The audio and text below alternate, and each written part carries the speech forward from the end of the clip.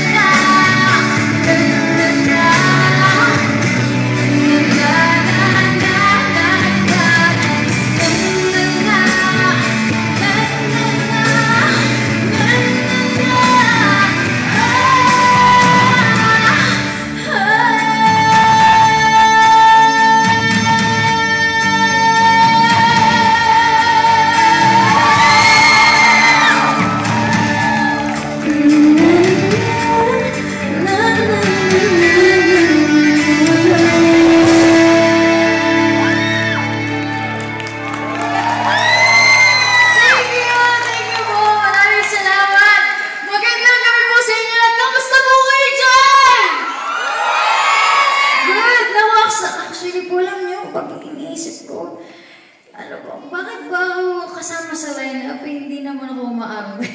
Parang sobrang, hmm, bakit kaya? Pero sobrang, ang masasabi ko lang po eh, masaya talaga ako ngayong gabing ito dahil ito po ang first leg ng show namin at sobrang astig niyo po lahat. Thank you po sa inyong mainit na pagtanggap sa amin.